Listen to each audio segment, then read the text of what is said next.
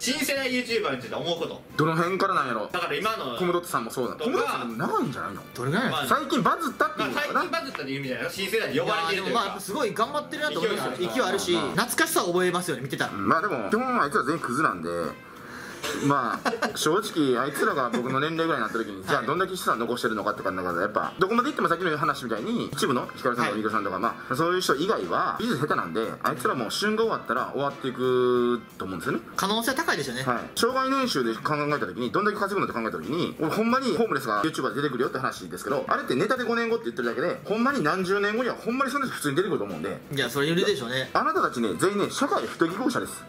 マジで ほんまに冗談抜きでもう俺からしたらスローモーションに見える全て世の中の。その中でもさらにスローモーションの人ですからあなたたちは。だからもうほんまに今のうちに要貯金しときやって言いますね。やほんまに言いですよ。これほんまに親心。です確かにそれは思うのは全盛期っていうのはずっと続かないっていうのはこれは100%言い切れることでこれどんな人でもそうでブームっていうのもいつか過ぎるもので、うん。今ブームの YouTuber たちもいつかそれが過ぎたって、俺らもそういう時代があって、でうんうん。もちろん上の人たちは全員そういう時があってそれを過ぎた時のことを考えてる方がいいかなと思いますね、うん。ちゃんと未来を見据えて今調子乗りすぎない方がいいんじゃないかなって、まあ、俺らは調子乗りすぎてやられた側の人間なんで、まあまあまあ。正直そのね酸いも甘いも俺らは経験しましたよ。でその結果今こういう表現芸みたいなのも身について。ああ新たなたどり着くわけです。いややっぱね俺らも尖りたいって気持ちとでも丸く生きていかなきゃいけないっていうこの葛藤ありながらこうやってきましたけどやっぱ羽伸ばしは楽しいですね。いや楽しいですよ、うん。尖りたいっていうかこれが素なんで、いや本当は僕らもっと尖ってますからね。うん、全然4年前の光ラファエルは僕らの素より丸いんですよ実は。だから俺とかラファさんが本当の意味で通出しちゃったらもう放送できないんだよ確かに確かに。でもそれが僕らの根幹にあって関西人特有のなんかってあるじゃないですか。あると思います。人いじってなんぼやし悪口ってなんぼやしみたいな、はい。そういう人の不幸を笑い物にするみたいなちょっとね。若干そういう文化があってブラックジョーク的な。別に俺の親もそうやって普通にしとったし周りがみんなそうやったから、それが普通で生きてきてでもやっぱ大衆向けにしようと思ったらちょっと丸みを帯びないといけないっていうので、うん僕らはそうやってやってるだけなんで、まあそうですね。僕もだからこの間先日も大阪行きましたけど京橋、はい御堂筋の上から人とか投げたいですもんやっぱり。まあそれはラフさんだけですけどね。俺はそんな思ったことないですけど。え思ったことないですか？佐々木さんなんか思ってたけどな。はい。人とかやっぱりガンガン投げたいですよ投げ入れたいですもん。気に食わへんやつ全員いうかもうあのデスノートはいはい。デスノートだったらデスノート5枚欲しい。5冊欲しい。俺もそれは欲しいです確かに、うん。書き切らねえデスノートだと俺も書いてまうな多分。ガンガン書くでしょ？書きますよそりゃ。ほぼ書くんちゃうかな、はい。ワンちゃん。キラでしたっけ？はい。俺キラ派ですもんね。あはい。L とかちょっと邪魔やったもんな。エル？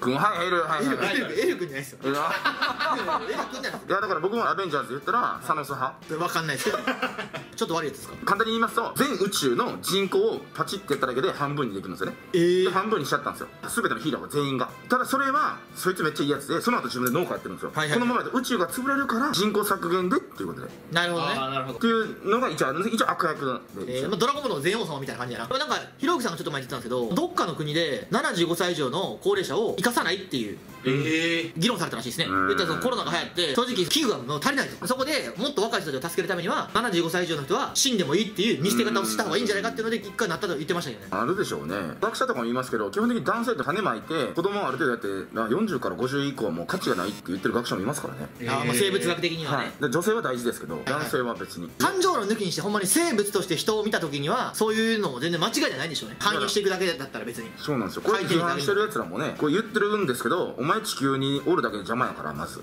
邪魔じゃないですか人口とか。まずまずむ絶対的に矛盾なんですよ。絶対何かを犠牲にしていってるんで 人間って。おい4年前より尖ってないか？これ設定間違えたんじゃんこれ。8, 年8年前8年前用意させて。ヒヒトラーんかな間違えてごめんごめん。ヒトラーが入ってきたもん。うん。別の人です用意させてない別の人がはい間違えてましたね。地球からしたら邪魔な存在ですからね。うん。人って。そういうことですね。ほんまそうですよ。な何を根拠に気切ってんねんって話ですからね。いやほんまそうです。気だって生きてますからね。やめたれよ。はい。割り箸してんな。火やラーメンにメンマ入れんな。竹や。いやそういうことです。まあな何を他他の生物から言ったらね。そうですよ、はい。まあそういうことるんですから、はい。次行きましょうよ